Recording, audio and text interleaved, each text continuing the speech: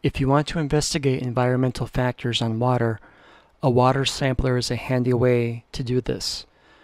It comes with a 20 meter long line, a floating line holder, and the cylinder can hold up to one and a half liters of water.